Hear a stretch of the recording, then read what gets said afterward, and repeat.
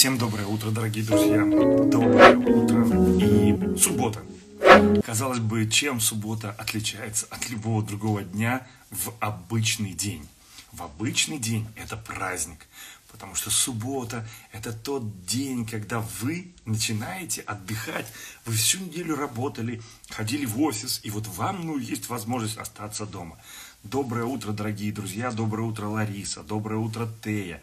Мне очень приятно видеть вас. Поэтому, друзья, раньше суббота была просто настоящим праздником. А сегодня суббота другая. Вот я лично испытываю такое состояние, что для меня перестали быть субботы вообще каким-то особенным праздником. Единственное, что раньше было, так как я много лет уже работаю в самостоятельном плавании, и а, мой главный офис это home офис, то в субботу утром вдруг откуда ни возьмись из всех комнат начинают выползать твои домашние. Вот садится дочка, сын, жена, и они все свободны. Им нечего делать. Они идут э, куда-то по своим делам, они начинают делать что-то свое, и ты должен вынужден под них подстраиваться, как-то у тебя были свои планы, написать статью, написать еще что-то. Но вот так происходит, что ты просто должен как-то вот под, с ними подстраиваться. Что произошло за эту неделю? За эту неделю мир изменился. Домашние вдруг ни с того ни с сего стали постоянно находиться у всех дома. И это для всех, и в том числе для многих людей, с которыми я знаю, это новый вызов – Мало того, первый вызов у людей, когда ты, имея четкий распорядок дня, утром вставал, чистил зубы, одевал рубашку, костюм, выходил, и тут было несколько вариантов, садился в общественный транспорт, садился на каршеринг, садился в свою машину и ехал на работу, теряя при этом где-то от часа до двух. А у меня есть э, люди, с которыми я работал, толпы, которые едут с одной стороны Москвы на север Москвы, упражняясь в этом примерно два часа в одну сторону и два часа обратно. Вот представьте, у человека 4 часа в день выходило из жизни. Теперь они никуда не едут. Эти 4 часа вдруг стали их жизнью. Мало того, он приезжал на работу, и ему был шеф строгий, который говорил, здравствуйте, Роман Владимирович. Или наоборот, я был шефом. Я говорю, здравствуйте, Сергей Александрович, ну что, вы сделали свои домашние дела? Или вы сделали вчерашний отчет, который я вам говорил. И от того, как я на него посмотрю, от того, как его встретят его тетя Маша, Петр, Петр Алексеевич, Наталья Сергеевна в офисе, вдруг устанавливалась какая-то атмосфера. Это была добрая атмосфера, мягкая атмосфера, злая атмосфера, неважно какая. Но только человек приходил, он бежал, брал стаканчик, бежал к кофейному аппаратику пить кофе. И это было классно. Почему? Да потому что в этот момент это, тут приходил Сережа, Петя, Таня, Наташа. О, Наташа, да, конечно. О, Сережа.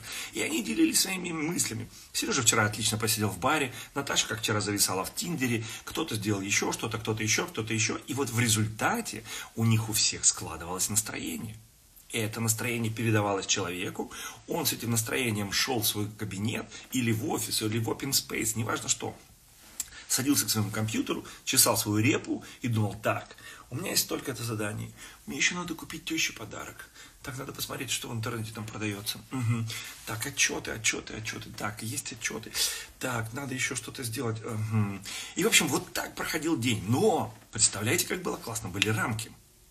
Просыпался, дорога, работа, задачи, выполнение, перерыв, обед. О, обед это круто. 18.00. 18.00 каждый день был праздником у человека. И вдруг этот привычный шаблон поведения у людей вышибли из-под ног. Не нужно вставать рано утром. Пока. Не нужно тащиться два часа на автобусе, на троллейбусе или в машине.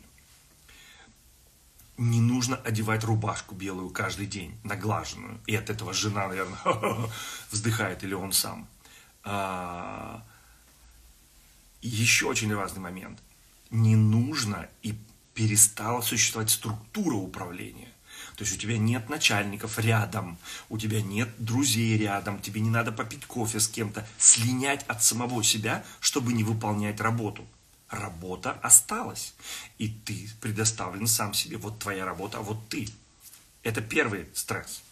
Второй стресс – домашний, который вдруг ни с того ни с сего стали вокруг вашего дома. Ну и третий стресс, самый большой, наверное, из-за чего все это происходит, это та ситуация со здоровьем людей и той причиной этого здоровья, который, собственно говоря, и вызвал все наши вопросы. Поэтому мы с вами ведем а, прямые эфиры ровно для того, чтобы посмотреть о том, как справляться с этим стрессом с разных сторон. Это комплексный стресс. Стресс, который позволяет тебе вдруг ни с того ни сего очутиться дома, а остаться один на один. И я вижу, что, дорогой мой любимый Иван Кириллов, уже в экране, ты меня слышишь хорошо? Отлично. Прекрасно я просто. прекрасно вижу. А самое главное, что круто, у тебя солнце светит. И это меня вообще вдохновляет больше всего. Вот, как только он сказал, что хорошо слышит, у меня завис сразу интернет. Иван, привет. Я тебя, я тебя продолжаю хорошо слышать. Привет, дорогой. Я надеюсь, ты слышал мои краткое вступление к нашему разговору. Каждое слово, дорогой. Прям Спасибо. очень, очень Спасибо. хорошо и вдохновительно и по делу, да. Добавь что-то и погнали. Да что тут добавишь? То есть действительно, то есть э, на самом деле, кроме рутин, про которые ты говорил, которые э, выпали у нас из рук, э, у нас ощущение доверия себе и собственной жизни, потому что мы доверяем обычно, когда знаем, что делать. Нам важно знать, что делать, что следующее. Да? А помимо этого, еще очень много наших человеческих потребностей пострадали, ну, то есть подверглись какой-то атаке. Да? То есть э, а, постоянные бесконечные новости про то, как все ужасно и как э, много людей умирает и так далее, да, то есть они тоже на многих влияют, по крайней мере, может не на всех, но на многих влияют, создают ощущение такой такая подстава, потому что ты всегда будешь на, на шаг позади, потому что ну, ты реагируешь, ты всегда на шаг позади ну и так далее. То есть ты уже сказал про отношения, которые подверглись атаке, потому что я вчера разговаривал со своим китайским коллегой, ну, они немножечко впереди нас по этой истории. Статистику, а, я вот, к сожалению, он мне не прислал, на английском еще нет, на китайском, что количество разводов после э, карантина просто прям взлетела в гору. К сожалению, процент сказать не могу, врать не стану, но сильно взлетела в гору. То есть вот как только появится, сразу сообщу. Просто потому что интересно.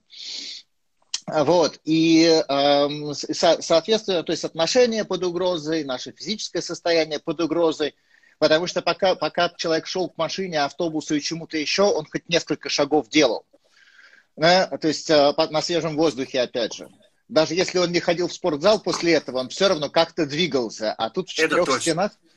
Плюс, плюс мы же развратились ужасно, потому что у меня вот клиенты постоянно говорят, я говорю, ну, слушайте, ребят, надо как-то поддерживать свою активность. Они говорят, а в зал же нельзя как будто заниматься можно только, как будто заниматься можно только в зале. Мы Слушай, прям совсем раскайфовали. У, у меня дочка, у меня дочка утром просыпается, я ей одеваю этот часы Apple, она говорит, папочка, я побежала, и она бегает километр по квартире, пока не накрутит эти круги. Для нее это так весело, но на самом деле это то же самое может делать каждый.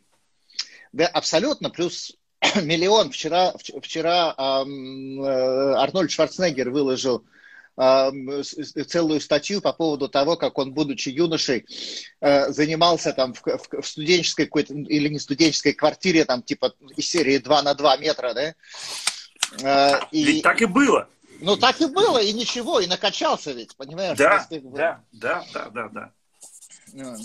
Поэтому Смотри, ты, да. Я, я с тобой полностью согласен. Вот вчера я вел прямой эфир, у меня вчера заканчивалась моя мастер-группа, мы э, неделю шли, разбирались с собой, но ты посмотри, как меня отвлекало. К сожалению, специально, я уверен, что это именно так, одна, одно сообщение столько-то умерло, а второе сообщение столько-то умерло, третье сообщение столько-то умерло. Даже я, абсолютно нормальный, здоровый человек, начинаю реагировать. И ты помнишь, я тебе сказал, что у меня есть некоторые опасения, и ну, ты мне объяснил многие вещи, но все же э, люди подготовлены. Я тебя знаю много лет и знаком с тобой, и с твоей методикой, читал твою книгу.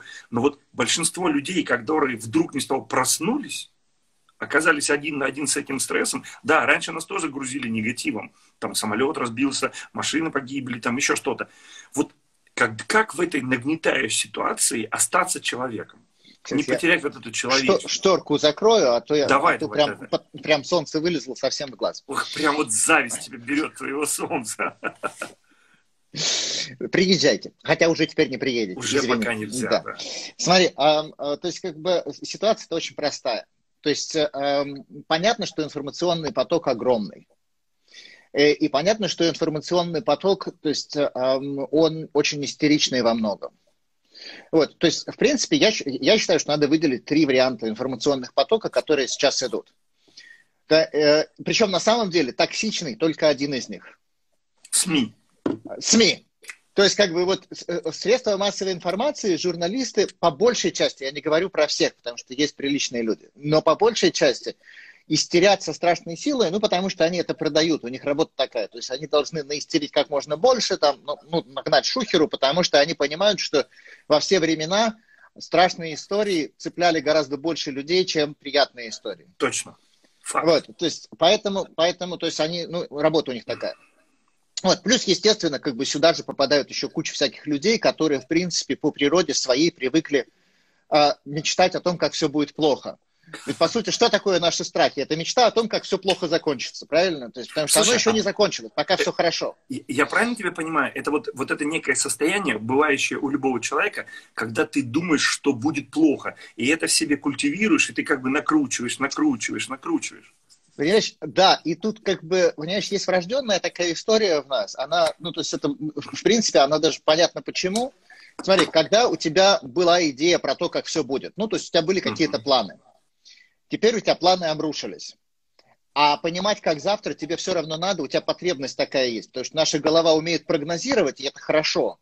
Но это и проклятие, потому что как бы, когда прогнозы непонятные, мы начинаем нервничать. То есть надо чем-то заменить. Неопределенность.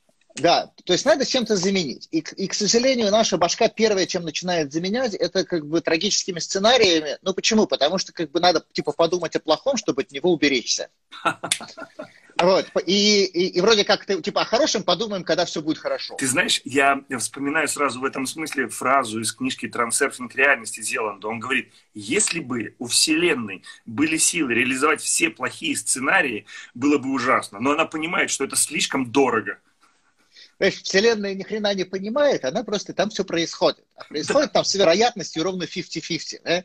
А потом, а потом ведь тоже как бы важный вопрос, что мы считаем плохим сценарием. Мы плохим сценарием считаем все, что не соответствует нашим ожиданиям. Это да. Да, то есть как бы нам не досуг подумать, что иногда наши ожидания не соответствуют реальности. И причем как бы изменение реальности не всегда плохо.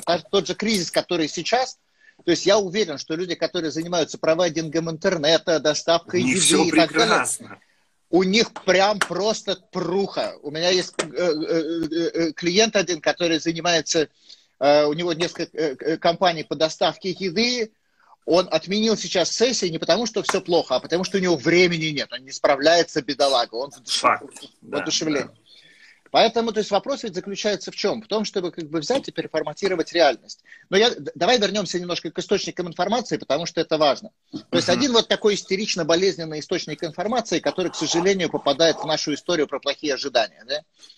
Два остальных, на самом деле, очень приличных на которые надо обратить внимание, соответственно, исключив первый. То есть вот первый со всеми этими соплями мы исключаем, потому что лучше на всякий случай подумать хорошо, а, то есть, как бы, чем на всякий случай подумать плохо. И то, и то на всякий случай, потому что 50-50 вероятность. Так вот, второй источник информации очень клевый, который сейчас на самом деле ну, у человечества и в России в том числе развивается очень неплохо. То есть это объективная информация. А где ее взять? Без мнений объективная информация, ну, как бы объективная как? Понятно, что статистика сейчас штука довольно трудная, во-первых, потому что непонятно, кого проверили, кого не проверили в любой стране и так далее, да?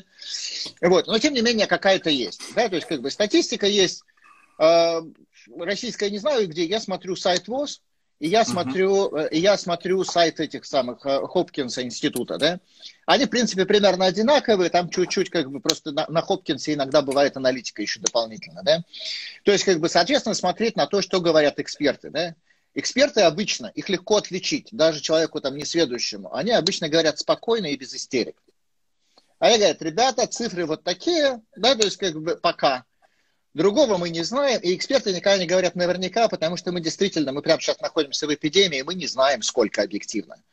То есть мы знаем, сколько померили и сколько там типа положительных тестов, да? Сколько людей умерло, мы знаем.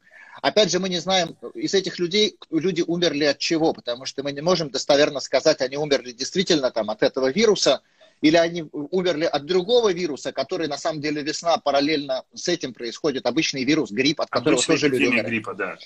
Да, то есть плюс как бы люди умирают еще от каких-то текущих своих заболеваний, да, Поэтому, то есть, как бы, к сожалению, на сегодняшний день там прям четко красивую статистику сделать не может никто, но какая-то ориентировочная вот есть на сайтах, которые я сказал.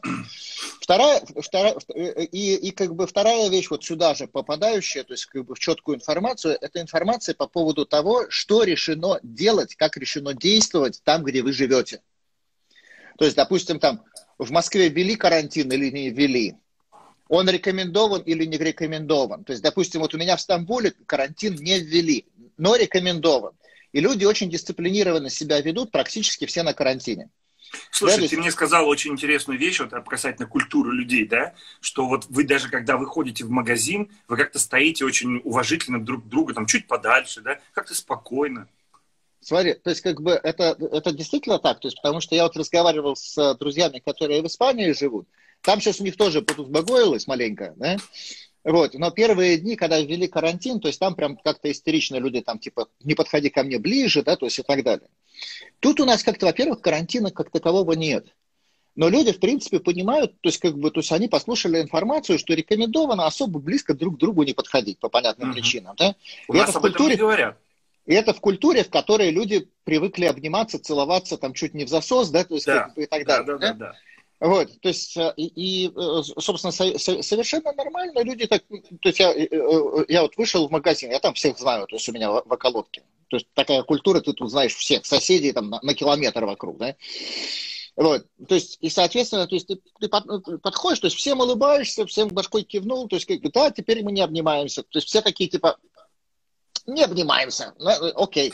Ты знаешь, мы тоже вчера, я вчера выступал на премии «Бизнес-успех» и приехал к организаторам, и все такие, хоп, знаешь, еще этот инстинкт подать руку, поздороваться, а уже как бы говорят, что не надо, да, и ты как бы инстинктивно себя ловишь на мысли и чувствуешь некое неудобство вроде как, ты, стеснение от того, что раньше это было, сейчас нет, и здесь вопрос, вот понимаешь, вот это ты делаешь для себя, для него, или как, или ты себя защищаешь, смотри, вот это очень смотри, важный еще момент психологически понять. Это крайне важно, потому что одна из важных вещей, прям такой, я не знаю, рекомендация, как это по-русски, tips, да, то есть рекомендация, наверное, да. То есть, э, а, то есть э, это каждый, то есть понятно, что инстинктивно мы пытаемся защитить себя. Uh-huh. То есть это первое, что приходит в голову, но, как я уже говорил, это всегда проблемно, это всегда создает дополнительное напряжение, дополнительные страхи и тревогу, которые нам сейчас вообще не нужны никак. А, соответственно, как бы э, лучший способ, и по сути так, то есть если почитать, опять же, все, все рекомендации, которые есть китайские, ВОЗовские и так далее, да, то они говорят про что? Про то, что ты защититься сам от вируса не можешь особо. Да, ты можешь защитить окружающих от себя на тот случай, если у тебя уже вирус, а ты про это не знаешь. Да. А ты про это можешь не знать две недели как минимум, и ты про это даже когда болеешь, если ты молодой, сильный, здоровый человек, то ты можешь просто про это не знать, потому что очень, ну, то есть у многих людей это протекает практически бессимптомно. Ну, где-то лишний раз в туалет сбегал, лишний раз кашлянул и как-то все, да. Но есть люди с ослабленным иммунитетом, есть люди из групп риска, есть люди пожилые, да, особенно пожилые, да. Соответственно, их надо защитить. Плюс людей надо защитить от эпидемии, но не столько, как бы, опять же, правильное понимание должно быть. На сегодняшний день вероятность того, что мы защитимся от эпидемии, от того, что типа никто не переболеет, переболеет там 100 человек и так далее, это нереалистичное ожидание. Скорее всего, переболеет две трети. Население. Население, да. То есть, а, скорее всего, переболеет две трети. Но, но вся эта история с карантином и так далее, она не для того, чтобы не переболеть. А чтобы она защитить для... других от себя она для того, чтобы замедлить эпидемию, для того, чтобы те люди, которые будут болеть тяжело, получили адекватную медицинскую помощь. Потому что если все заболеют одновременно, потому что все одновременно были в метро, условно говоря, да, угу. то никакая больница, никакая система здравоохранения ни с какими больницами вновь построенными тупо не справится. Не справится, конечно. Да? Поэтому наша задача позаботиться о других людях. И это на самом деле очень круто, потому что как бы в кои-то веке, то есть мы очень, мы же очень, особенно как бы в России за последние годы мы стали очень индивидуалистичны. Какими? индивидуалистичными. Да, да, да, да, точно. Да? Чего раньше не особо было на самом деле. Понятно, что любой человек индивидуалист по природе, но тем не менее, то есть как бы мы как-то были больше вместе. И это как раз замечательный э, способ, замечательная возможность вернуться к этому. И это выгодно тебе индивидуалистически, потому что если ты фокусируешься на себя, ты будешь бояться, переживать все время там, а, меня заразите, сволочи, да? А если ты волнуешься о других и волнуешься о том, чтобы в целом общество переболело как можно с меньшими потерями, да, то ты чувствуешь себя, во-первых, молодцом. Во-вторых, если в первом случае, когда ты пытаешься защитить себя, ты всегда на шаг позади, потому что, ну, как бы вирус распространяется, мы даже не очень понимаем, как на сегодняшний момент. В смысле, uh-huh. как бы мы понимаем, что воздушно-капельным путем, мы, ну, мы не очень, но мы не очень понимаем, то есть, как бы, как это статистически будет, с какой скоростью и так далее. То есть мы пока это не очень понимаем. И мы всегда на шаг позади. А если ты заботишься о других, то ты, получается, на шаг немножко впереди. Причем самое смешное, что меры-то те же самые. То есть, по большому счету, Слушай, заботиться... как классно. То есть, по сути, вот тебе первый и очень главный такой сегодняшний лайфхак. Основной. Основной. основной попытаться защититься, не самому спрятаться в мире, а сделать все возможное, чтобы защитить других, от, управляя своим поведением, своим отношением, своими мыслями. И вот нам уже потихоньку начинают писать вопросы, но я продолжу, хочу тебе, чтобы ты продолжил вот этот вот концепт, фундамент, вокруг которого, а потом мы позадаем вопросы. Смотри, это, э, э, то есть вот крутая штука вот это, первое. Второе, что с вниманием нужно сделать, то есть вот две вещи, всего две, которые меняют все на самом деле. То есть первое, мы уже сказали, я защищаю не себя, а я защищаю других людей, я защищаю общество и стараюсь сделать так, чтобы ну, как-то оптимизировать потери, да. Вот. К тому же, на самом деле, если мы затягиваем эпидемию, со временем, по крайней мере, другие вирусы, которые мы знали до сих пор, со Они временем да. их, их летальность ослабевает. Угу. То есть, как бы, по мере того, как они распространяются, их летальность ослабевает. И это круто. То есть мы как бы убиваем двух зайцев сразу. Вторая история, про которую мы должны думать, это то, что, смотри, а, защититься от вируса по большому счету ты не можешь. А, Ведь еще раз. раньше, когда мы в школе проходили предмет биологии, нам говорили, у вас тысячи вирусов в данную секунду. Они прям да. вокруг вас, на руках. Помойте руки, и все. Смотри, а вылечиться от вируса ты не можешь. Нету противовирусного препарата, да? Они живут с нами всю жизнь. То есть, как бы мы не убиваем... То есть, э, знаешь, старая шутка, типа, э, как лечить вирус, да? То есть, с лечением 7 дней, без лечения неделя, да? Это точно, точно. В общем, ничего не изменилось. То есть, то, что лечится, лечится последствия, если есть осложнения. У кого они есть, да? И штука следующая. Но, как бы, вирус вылечить ты не можешь, защититься от вируса ты не можешь. Но то, что ты можешь сделать, и это очень круто, ты можешь сфокусировать свое внимание не на защите, не на борьбе, да, а на построении своего здоровья. Ух ты! На самом деле, что хорошо не только во времена вируса, а вообще а всегда. Хорошо.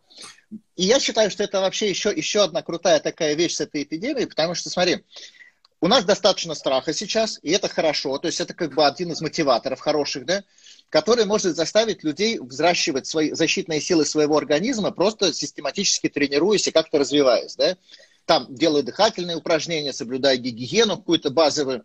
Смотри, а, то есть как бы вся эта история продлится минимум 2-3 месяца. Сто процентов. Минимум. минимум.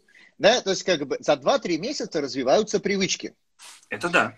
То есть смотри, то есть как бы если сейчас человек решает, что я подхожу ответственно, я пытаюсь защитить как бы других людей и общество, э, и оптимизировать как бы э, всю эту историю с вирусом, и я могу это сделать как? Ну и дальше вы заходите на сайт, допустим, там, я не знаю, э, московской администрации, и там все написано там, с масками и так далее. Кстати, маски вас не защищают, маски защищают от вас, в том числе, да? То есть там с гигиеной, со всеми делами. Начинаю практиковать это. Плюс, плюс смотрю, а сейчас любое спортивное приложение, любой спортивный тренер, который себя уважает, выкладывает в бесплатном виде какие-то вещи, как можно себя укрепить. Вы находите то, что вам подходит, то, что подходит вашей квартире, у кого-то квартира большая, у кого-то маленькая, да, и вы тупо начинаете это делать, вы начинаете регулярно проветривать помещение, вы начинаете регулярно заниматься, делать там дыхательные упражнения, йогу, там тайчи, я не знаю, силовые со своим весом, все, что хотите, да. То есть то, что вам подходит. Естественно, без фанатизма, то есть потому что надо учитывать свое нынешнее состояние здоровья и строить потихоньку. Да? Поэтому, то есть, как бы, и штука следующая. Вы так три месяца занимаетесь, потому что три месяца там вот... А, и через три месяца у вас уже привычка заботиться о себе. Ну, например, элементарно. Сделал пресс, сделал отжимание. Сначала у тебя, может быть, ты можешь один, два, три раза отжаться. Но если ты будешь три месяца отжиматься, твоя фигура изменится. Да, все ты изменится. Можешь, ты можешь сесть на диету хорошую. Да. Ты можешь По... похудеть. Да, потом как бы понятно, что сейчас все закупились. Первое, что сейчас все начнут жрать. Да? То есть, как бы, э, но, но, но, но можно же понять, что эта опасность есть. Ну, она есть, потому что как бы у нас одна из привычек заместить, заместить занять свободное время – это сесть пожрать. Да? Есть, да, но как бы ты же можешь понять, что это опасная история, которая тебя ослабеет, потому что как, если ты будешь слишком да. много жрать, это ослабевает твое сопротивление. Да? То есть если ты будешь слишком много бухать, тоже нехорошо. Поэтому ты можешь просто для себя решить, да, я в зоне риска сейчас, у меня сейчас все есть дома, но я буду это расходовать разумно. То есть я буду, логично, кушать, логично. я буду кушать раз в два часа, но по чуть-чуть. Да? То есть как бы можно из этого сделать целый ритуал семейный, поскольку, поскольку вы уже все дома третесь да, друг об друга то есть и, э, и так далее. То есть это, это вторая вещь, очень важная тоже, как вот в смысле фокуса внимания. То есть первое, фокус внимания защиты себя на защиту окружающих и общества. Второе, фокус внимания с борьбы и избегания вируса, что невозможно, на построение своего здоровья, что возможно. И тогда даже если вы заболеете вирусом, больше вероятность, что вы как бы этим делом э, переболеете гораздо, ну, то есть вообще практически там, ну, как, как гриппом или вообще никак. Слушай, скажи, пожалуйста, люди вот спрашивают разные вопросы, буквально там несколько минут. Я давай, хочу давай. Да, давай. спросить, чтобы нам чуть-чуть дальше разогнаться. Я просто, я просто разговариваю, не успеваю следить. Я Отлично, я для этого здесь сижу, да. Как раз вот эм, люди вижу, Водичку что... теплую пить. Правильно, правильно, да. Так. Привет. С лимонами, как, опять же. Да. Как стресс обратить в ресурс? Раз вопрос. Что делать с тревогой? Как игнорировать или признать? И э, Привет из Киева, привет Киеву. Как выводить тревогу из того, что а, не знаешь, а, когда закончится карантин? Ну вот пока три таких вопроса. Смотрите, а, то есть а, давайте так. Во-первых, а, как получить а, пользу от стресса, мы, собственно, с вами уже... Ну, мы уже поговорили, да. Практическое занятие, по сути, то, то, то есть, но, но быстренько, как бы, а, такой этот, а, основной, основной алгоритм. То есть вы смотрите, что мы, что мы делали с вами до сих пор? Мы смотрели на симптом, то есть что люди потеряли, от чего они паникуют. Да? А мы хотим посмотреть на приобретение теперь, да? Да, мы, мы, мы смотрим на симптом, то есть на свою реакцию, да? то есть на свою, как мы реагируем. То есть на что именно я реагирую, да? Потом мы задаем себе вопрос, почему для меня это важно, какая потребность за этим стоит. Да? То есть, как бы, потребность выживания, да, то есть, там, ли, э, потребность ли позаб... в том, чтобы обо мне кто-то позаботился, потребность ли в контроле, да, то есть сейчас с потребностью в доверии, в контроле большие проблемы, потому что все пошло не так, да. А, как-то так, это сейчас одна из основных. И вторая в заботе, потому что мы начинаем обижаться на то, что другие нас недостаточно заботятся. Это самые такие основные сейчас болезные, да потому что потребность там типа выживания мы пока не очень ощутили, то есть она пока такая умозрительная очень. Да? И потребность в, в каких-то фантазиях э, более-менее духоподъемных, потому что сейчас все фантазии, которые транслируются по телевизору, они так себе. Да, то есть, типа, все будет плохо, ужас, ужас и так далее. То есть у нас три потребности главные, да, как бы сейчас задействованы. Первое – это потребность э, в доверии к себе, к окружающим, там, к своему здоровью. Да? То есть вторая потребность – это потребность на самом деле в идеалах, которые будут ну, как-то более-менее меня вдохновлять, а не прибивать к земле. Да? То есть и третья потребность – это потребность в заботе, в заботе о нас и в заботе на самом деле об окружающих. То есть и, соответственно, как бы э, отсюда вытекает ответ на вопрос, что делать с тревогой, потому что тревога, что такое по сути тревога? То есть тревога – это когда мы знаем, что есть какая-то опасность потенциальная – организм начинает создавать энергию для того, чтобы с этой опасностью бороться. И чем больше, да, и чем больше у нас фантазий, как бы те, ну, паршивых, тем больше мы, соответственно, стрессуем, то есть создаем адреналин и как бы создаем энергию, чтобы что-то делать. Но проблема в том, что, как бы, к сожалению, энергию накопить нельзя. Да, то есть я надо расходовать в действие. И если ты как бы сейчас выделил адреналин, но ни черта не делаешь, лишний вес. Этот, этот адреналин остается у тебя, лишний вес-то потом. через два шага, да? Но, но, но, в общем, в конечном итоге, да. А, но адреналин создал энергию. Ты ее никуда не расходуешь. Ты ничего не делаешь, потому что у тебя поломались все сценарии, все алгоритмы, да? Ты такой сидишь и такой, а я не знаю, что делать. А, а энергия это создана, и она внутри тебя булькает, как, как, как, как та кипяченая вода там, да, то есть, которая должна выйти. Если не выйдет, взорвется к чертовой матери.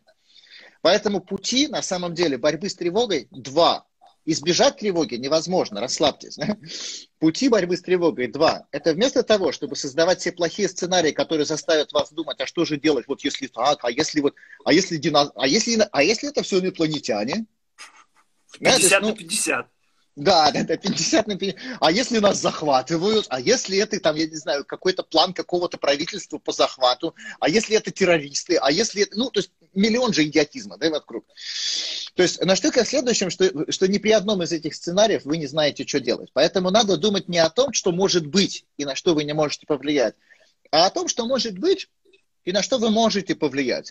Например, я могу, то есть у меня появилось время, я всегда жаловался, что у меня нет времени заниматься там, своим здоровьем, да? Пожалуйста. Вот тебе, у тебя есть теперь время, как минимум те два часа, которые ты ехал на работу, у тебя есть два часа заниматься своим здоровьем, вот так вот, будешь здоровый, как огурец через месяц. Да? То, есть, а, то есть, соответственно, направ... то есть, как бы ловить свои вот эти вот идиотские мечты, отставлять их в сторону и придумывать какие-то мечты, которые, как бы, в принципе, в конечном итоге помогут тебе и через вирус пройти, и после вируса жить. Потому что если ты сейчас создашь привычку заботиться о здоровье, будет круто. Это факт. Да, то есть если ты сейчас придумаешь какой-то проект и э, как ты можешь у, у, развить свои какие-то навыки и способности, будет круто, потому что когда вирус закончится, они у тебя будут, ты будешь более дорогой сотрудник.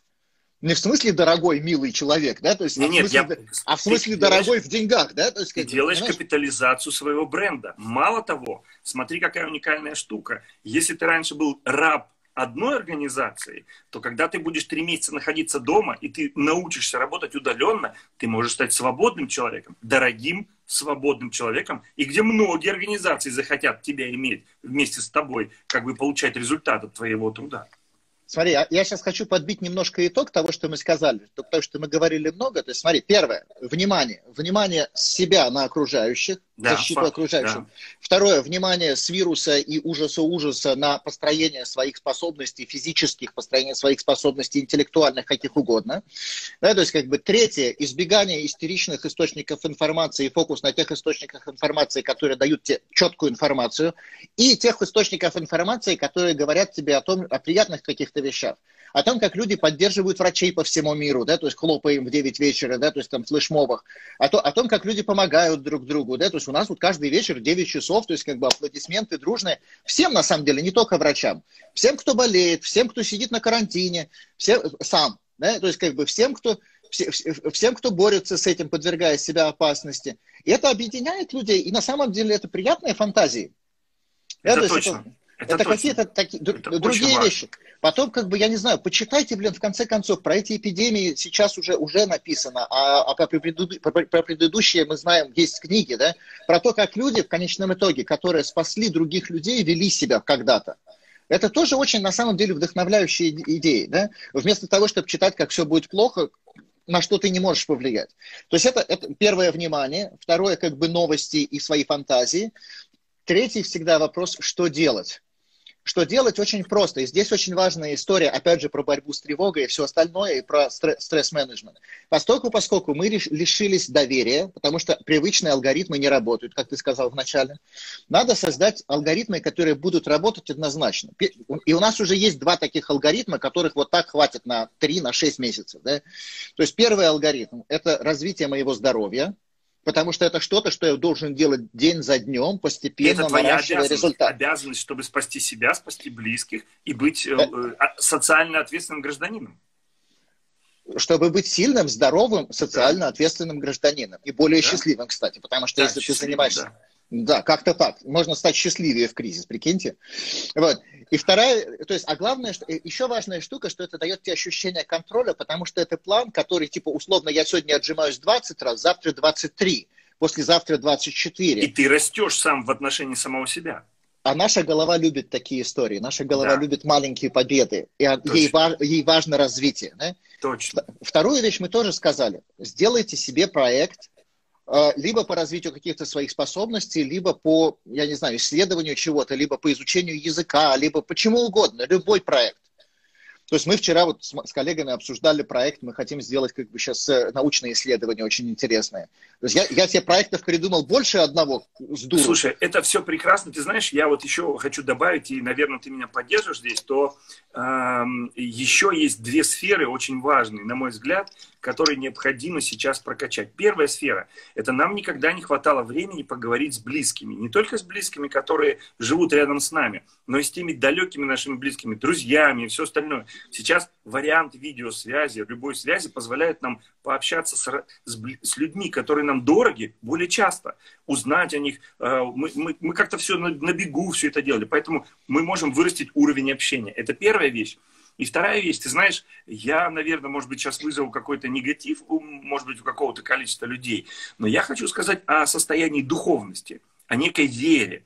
И это не обязательно должна быть вера, э, принадлежность какой-то религии, хотя это тоже неплохо. Хотя, например, вот сейчас в православии идет пост. И это очень важная философская вещь, которая себя ограничит в еде. Э, ты должен позитивно мыслить, добро относиться к другим, прощать других. Вот есть еще два момента, когда ты для себя можешь сделать большую пользу. Ты можешь заглянуть вглубь себя и подумать о своей вере, подумать о больших вещах, о том, чему ты предназначен, о своей миссии, о своей цели в жизни вообще. И ты можешь уделить время своим близким, которые находятся, а, рядом, б, даже далеко, но вы даже семейные можете проводить скайп-конференции теперь. Все есть возможно. Смотри, я считаю, что про, про часть духовную мы с тобой уже начали говорить, когда мы говорим про то, про что ты фантазируешь. Потому что духовность это что? Это то, как ты организуешь свое внутреннее психическое пространство. Угу. А организуешь ты его как? Фантазиями, по сути. Да. да то есть я, я просто как человек нерелигиозный не организую это с помощью веры. Если человек религиозный, он может организовывать это с помощью уже готовых как бы, конструкций, которые в любой религии есть. Можно они очень, попробовать, кстати. Они очень классные. Они да. очень классные, то есть я ничего против них не имею, просто как бы, ну, я это делаю по-другому, да. То есть, э, и, но опять же, как бы, когда мы говорим про религию, тут надо осторожно быть, потому что есть писания, в которых все на самом деле клево. Да, то есть, а есть какие-то отдельные люди, которые из серии «я где-то что-то почитал, и у меня есть мнение», вот их лучше не слушать. Да? То есть, как бы, если вы религиозный человек, следуйте своей религии, а не того, что да кто-то да. там вам рассказал, да? Потому что в религиях обычно все нормально сказано, и все как бы можно следовать вполне. То есть классное руководство вперед. То есть как бы людям нерелигиозным важно еще раз посмотреть то, о чем они мечтают, да, то есть на что они фокусируются, на, что, на что они, если религиозным языком выражаться, молятся, да, потому что можно молиться на страх, на то, что как бы все будет плохо и нас все порвет и так далее, а можно молиться на то, что как бы, блин, да, то есть я могу стать сильнее в это время, да, то есть это круто. И, я и могу еще стать очень лучше. важно, и еще очень важно, например, а, опять же, возвращаясь к религии, да, как во многих религиях молятся за всех, не за себя, да. а за других. И вот это тоже очень важный момент, когда ты начнешь фантазировать и вести себя ответственно не только для себя, а это первая часть того, о чем мы говорили, а именно для других и за других. Ну, слушай, ну, как бы, э, понимаешь, любой религии уже не пять лет, да, то есть, как бы, а, а, сот, а сотни лет, да, и это же, как бы, механизм, которым общество справляется с, теми, с такими кризисами, которые происходят регулярно. Ведь там вирус, шмирус, то есть, как бы, слушайте, как бы, ну, во-первых, как бы, параллельно с вирусом происходит еще много чего, да, то есть, тоже разного. Да. Потом ви- вирусы случаются регулярно, вот такие, да, то есть как бы просто первый раз за историю мы э, э, реагируем на это как человечество более-менее вместе. И это на самом деле круто, потому что предыдущий вирус унес миллионы жизней, да, потому что. И никто никак не отреагировал. И реакции были такие, типа, в одной деревне сделали один подвиг, в другой другой. То есть как-то люди реагировали, но не вместе. Сейчас у нас шикарная возможность. И поэтому, в принципе, то есть, как бы, да, религиозные принципы, они на то и настроены, чтобы перефокусировать внимание человека, опять же, с себя на общество, потому что это всегда более рационально на самом деле, более духоподъемно, что ли, и менее тревожно. Факт. Потому что, потому что задачи-то в любой кризис одни и те же. Победить тревогу и сказать людям, что делать. Да? Да, то да. есть то, то же самое, что мы сейчас пытаемся сделать. На самом деле как бы ни, ничего не поменялось. Вот. И, и последнее, то есть и так у нас фокус внимания с себя на других, с болезни на построение здоровья, да, то есть как бы фантазии, религия, организация вот этого вот всего, у кого кто как это делает, неважно, да, но мы более-менее, опять же, фокусируемся с истерики на то, что мы можем сделать в будущем, что мы можем улучшить в будущем для себя и для других людей, и для человечества в целом. Это помогает. Третье, с точки зрения, что делать, мы берем и создаем из нескольких из этих идей, например, из идеи здоровья или из какой-то идеи вашей профессиональной, которая у каждого своя, да, создаете, создаете один-два проекта, которые вы выполняете последовательно, день ото дня, так, чтобы они развивались, чтобы каждый день было немножко надстройка, и это на самом деле очень вдохновляет.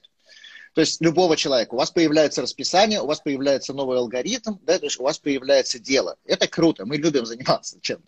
У вас появляется игрушка, в конце концов. Да? И последнее, но не последнее по значимости, потому что, по сути, мы все время говорим об этом. Это вот то, что ты говорил про близких, но тут тоже надо конкретизировать потому что мало близким позвонить, к сожалению. То есть, то есть, а, опять же, статистика вот китайская показывает, что то, что мы оказываемся в контакте с близкими, не всегда приводит к тому, что у нас отношения улучшаются. Почему? Почему? Потому что мы привыкли в отношениях, в любых, заботиться в первую очередь о себе, о том, чтобы нас не обидели, нас не, не, не покритиковали и так далее.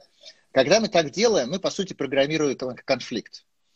Поэтому что надо делать для того, чтобы отношения, ну, то есть вот оказавшись со своими близкими 24 на 7 в одних стенах, да, позвони, по, когда появится время звонить им регулярно и так далее, нужно сфокусировать свое внимание на самом деле на простые три вещи. Первое, на то, чтобы поощрять друг друга, способности друг друга. Прям бесконечно. Прям вот как бы, да, особенно в тех моментах, когда человек ведет, как вам кажется, плохо неправильно. В этом моменте найти какую-то способность, которую он проявляет, которую поощрить. Ну, например, то есть, как бы, я не знаю, там, э, человек опоздал со звонком к вам, да? То есть, как бы, э, то есть хорошо, что, смотри, несмотря на то, что ты, как бы, позвони, ну, то есть, несмотря на то, что ты опаздывал, ты все равно это сделал, да, ну, ну то есть, как бы, э, смотри, то есть, то есть с обязательностью у тебя все хорошо, ты обязательный человек. То, что в уме оставляем, не да, говорим вслух. Точно. То, что с пунктуальностью у тебя хреново, точно. да? Но мы это не стараемся, говорим вслух, потому что смысла за, в этом нет. Да, стараемся за, заботиться о близких через поддержку, не в, потому что все мы в непростой Смотри, ситуации. Поддержка очень мутное слово. Еще раз, поощрение. То есть мы поощрение. поощряем, мы хвалим людей. Это очень трудно, потому что в нашей культуре этого нет от слова почти, почти вообще. Мы больше ругаем друг друга, мы даем негативную обратную связь. Так вот, мы делаем ровно наоборот. Опять же, развиваем хорошую привычку, которая и после кризиса пригодится. Это точно. Да, то есть мы поощряем это, друг друга. Это, это первое. Второе, мы пытаемся понять действительно, что этим людям надо, потому что когда мы заботимся друг о друге, мы очень часто делаем то, что как нам кажется надо. Да, то есть из серии мама кормит ребенка манной кашкой, которую он ненавидит. Да, то есть заботится ли она о нем в этот момент, черт его знает. Да? То есть узнать, что действительно нужно нашим близким и позаботиться о них. И причем не только близким на самом деле. Близким, людям с повышенным риском, людям больным и врачам. Я прям настаиваю, позаботьтесь сейчас о врачах. Позаботьтесь, то есть когда мы остаемся сейчас на, на карантине, самоизолируемся и так далее, мы заботимся в первую очередь о вот этих слабых людях, которые болезненные, о своих стариках и о врачах потому что врачи каждый день подвергают себя опасности. Это точно, да. да то есть, пожалуйста, э, э, ну, то есть подумайте о том, какие у них потребности, не только какие у вас. Это на самом деле очень крутая вторая фишка. То есть первая Но, на самом деле ты на самом деле ты все сказал. Заботиться о врачах нужно быть э, ответственным по отношению к самому себе. Все, что мы сегодня говорили, это и есть возможность не допустить дальнейшего расширения управлять своим стрессом и сконцентрироваться из, из негатива, направленного вовнутрь, в позитив, направленный вовне. Смотри, поощрение, забота в смысле поп попробовать понять потребности других людей, это очень трудно тоже. Это, это вот как поощрять. Это вызов, почти, не, это почти неподъемно, но это можно. Мы Слушай, можем это ты сделать. знаешь, о чем я подумал сейчас? Ну, мы же с тобой давно уже друг друга знаем. И э, я, наверное, сегодня сделаю вот что. Я, я это давно уже не делал, э, наверное, с времен нашего замечательного бизнес-завтрака, где мы с тобой познакомились много-много лет назад. Я наш эфир сейчас отдам на расшифровку у нас получится текст хороший, и я пришлю его тебе, и, э, может быть, ты возьмешь на себя тоже легкое обязательство. И я считаю, что это прям вот круто, и мы сейчас об этом с тобой можем договориться. Можешь ли ты каждое утро выкладывать маленькое видео на одну-две минуты в своих социальных сетях для того, чтобы, ребята, сегодня там 21 марта, и сегодня очень важно задуматься о поощрении друг друга. Это делать раз, два, три. Пока с вами был доктор Кирилл. Смотри, дорогой, я, э, э, у меня есть свой проект, один из моих проектов, я же тоже следую своим рекомендациям, да? Один из моих проектов, э, не парься расшифровкой, не надо лишнюю работу делать. Почему? Потому что примерно то же самое, о чем я сейчас говорю, я сейчас допиливаю эту историю, я просто как бы последние три дня очень много общаюсь со всеми коллегами, с многими пациентами своими, прям спрашиваю, ребят, что бы вам надо было, да? Угу. И, в принципе, то, то, о чем мы сейчас с тобой говорим, это результат вот этой уже какой-то трехдневной работы, да? Тебе все равно она полезна будет, и мне вот. будет полезно почитать. Вот, понимаешь, понимаешь, и я собираюсь сделать, я еще не знаю, это будет либо в социальных сетях, либо это будет какая-то страничка на моем сайте или какой-то блог, на который я буду постоянно везде в социальных сетях выбрасывать ссылку. Давай, там, давай, давай. Там будет основная концепция, и там будет, каждый день я не обещаю, то есть у меня в голове было раз в три дня. То есть раз в три дня это достаточно. Раз в три дня, то есть будет какой-то апгрейд с какой-то новой идеей, да, с каким-то новым напоминанием и так далее. Может быть, в конце концов, закончится и каждый день. Потому что... Я тебе ну, про другое говорю. Мы же с тобой, вот у тебя же есть какой-то ко мне уровень доверия в том, что, о чем мы с тобой есть, разговариваем? Есть, есть, да. да. Смотри, очень важно, это же тоже как бы некая прокачка. Я тоже раньше запарился о уровне света, о видеокамерах там и все остальное. Все просто. Берешь селфи, телефон, каждый день быть в контакте с людьми, это очень важно. И для тебя это классно. Вот ты утром проснулся, и тебе надо дневник продвинутого э, позитивного психотерапевта доктора Ивана Кириллова. Дай нам вот эту возможность. И каждый из нас понимает, ага, сегодня есть совет от Ивана Смотри. Кириллова. Смотри, я обязуюсь раз в три дня если у меня это будет получаться, я сделаю раз в два дня, а потом раз в день. Супер. То есть, то есть у меня, смотрите, и это важная штука, почему, почему я сейчас про это еще сказал, не только для того, чтобы отвоевать себе пространство, да, но еще и потому, что, смотрите, когда вы планируете свои проекты, что бы вы ни планировали, там, физическое здоровье или прокачку каких-то навыков, не пытайтесь сразу сделать все. Начните, с, поси... Начните с посильного, потому что если вы решите сделать все, то вы разочаруетесь. Если вы решите сделать посильное, вы будете вдохновляться каждый раз, и вас это вдохновит сделать больше, в конце концов вы дойдете, может быть, дальше, чем планировали. Это, это проверенная история. Я коучу... Ставьте, друзья, сердечки, ставьте все сердечки, да. чтобы все был замечательный день сегодня. Я коучу людей уже 20 лет, и я вот это точно знаю, что главное не слишком большие себе цели ставить, а выполнимые, но выполнять их регулярно. Да. Это важно. Огромное вот. тебе спасибо, было Смотри, очень по- круто. Последнюю да. вещь давай. скажу, очень важно. Давай, давай, давай. Смотри, постольку, поскольку мы все равно тревожимся, постольку, поскольку мы все равно боимся, то есть вот туда, к отношениям. Да? Постольку, поскольку мы все равно боимся, постольку, поскольку мы все стали все равно чуть более раздражительны, чем раньше. А я вас умоляю прям, позаботьтесь о близких не только тем, что будете их поощрять и пытаться понять их потребности, но и тем, чтобы защитить их от своих эмоциональных взбрыков. То есть прям, и это тоже важный навык, то есть научиться замечать, когда вы бомбите, блин. Мы же знаем, что очень часто мы срываемся на окружающих, не имея этого в виду. То есть э, замечайте эти моменты и постарайтесь, чтобы их было просто меньше. Защитите, защитите окружающих от себя, от своих эмоций и от своего там типа «хочу». Мало ли, что вы хотите. Сейчас это вообще не важно, что вы хотите. Да, то есть сейчас важны базовые человеческие потребности, наша базовая общность и наши базовые какие-то вещи, которые позволят нам стать лучше, я думаю. Я прям, а, этот кризис меня очень воодушевляет. И, и, и с коронавирусом, и с деньгами, потому что мы явно сможем что-то, какие-то новые вещи сделать и использовать новые возможности. Все, собственно, я все, что хотел сказать. А, спасибо тебе огромное. Это было мне вот знаешь, э, очень приятно, во-первых. Во-вторых, э, общение с тобой, оно всегда доставляет очень правильные, знаешь, такие посылы, ты знаешь, как э, в хорошем смысле хороший Federal Express, который доставляет э, такой качественно в срок и э, э, в рамках своих обещаний я обязательно сохраню эту запись. Она сейчас 24 часа будет доступна в моем профиле, наверное, в твоем, я не знаю. Я ее сейчас скачаю, размещу на YouTube и ссылку выложу в своей соцсети и пришлю тебе. А также отправлю все-таки на расшифровку, потому что есть очень много смыслов, которые мне бы хотелось, чтобы люди узнали об этом больше. Давайте все вместе, коллеги, кто сейчас смотрит наш эфир и не подписан на меня, подписывайтесь. Кто не подписан на Ивана, подписывайтесь на него находите нас в соцсетях, и мы будем это делать. Спасибо Ром, тебе огромное. Ромочка, Ромочка, у меня просьба к тебе. Слушай, а, а я обратил внимание на то, что люди пишут, и там помимо благодарности, спасибо вам большое за то, что как бы вы это пишете, для меня это важно, что что мы попали, да, то есть, что мы, потому что если бы не попали, мы попробовали еще раз. Но я вижу, что есть какие-то вопросы, которые мы не ответили. Я тебя очень есть прошу. вопрос, да, давайте я тебя очень прошу. в соцсетях. Да, я тебя очень прошу, просто, просто как бы все вопросы, которые не отвечены, ты мне пришли, и, Это невозможно и... сделать, к сожалению, технически не позволяет. Э, а, нет, их можно пересмотреть. Смотри, этот вопрос э, э, э, сейчас эфир сохраняется в Инстаграме. Да. Его можно пересматривать, и именно в Инстаграме видны комментарии. Но а если мы его сохраняем потом, и комментарии пропадают, и мы уже смотрим эфир без комментариев. То есть, то есть 24 часа я могу посмотреть вопросы, да? Да, был один вопрос, знаешь какой? Как удовлетворить свои потребности в обнимашках, когда ты один? А, очень просто. Ребят, э, с этим очень просто вообще, без проблем. И это, кстати, классный навык, которым, которому не учат в детстве сволочи родители. Но они, правда, сами не умели, поэтому бедные родители. Да?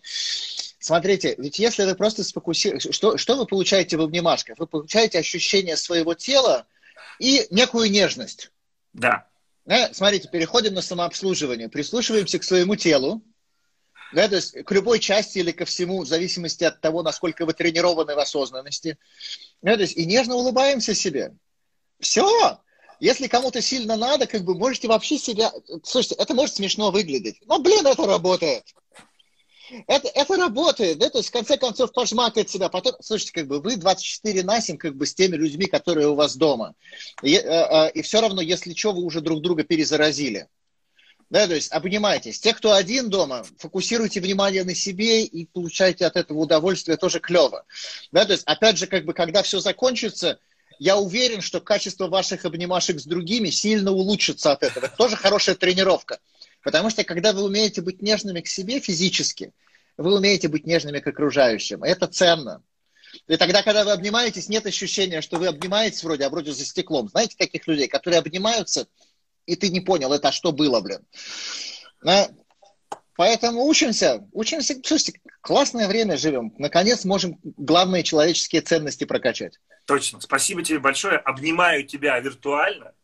Вот, и э, желаю тебе хорошего дня, и давай, если хочешь, мы можем такие субботние э, посиделки с доктором Кириллом, утренние завтраки, кофе делать, опять же, вполне возможно регулярно. Слушай, да, я в принципе, в принципе не против, давай посмотрим на фидбэк. Давай. Если фидбэк будет прям такой, что как бы надо-надо, ну давай делать. Да, то есть, а то, что я обещал, то есть вот какую-то страницу я еще пока не знаю где, и плюс как бы там раз в три дня пока, а может быть потом раз каждый день а, апдейт, это как бы мое обязательство, мой проект, один из. Так что мне есть чем заняться в коронавирус. Я теперь не знаю, что делать, когда он кончится, потому что у меня все рутины опять посыпятся.